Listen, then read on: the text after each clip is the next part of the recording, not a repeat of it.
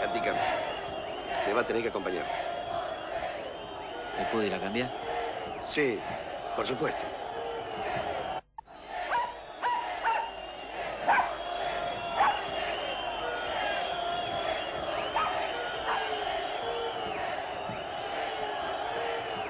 ¡No, señor!